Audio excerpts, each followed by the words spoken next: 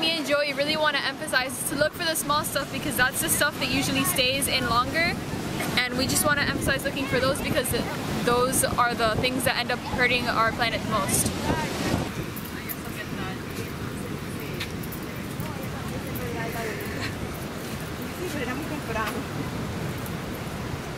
What is that? Diaper. Diaper, nice. Toxic. There's a Corona bottle, but it's kind of like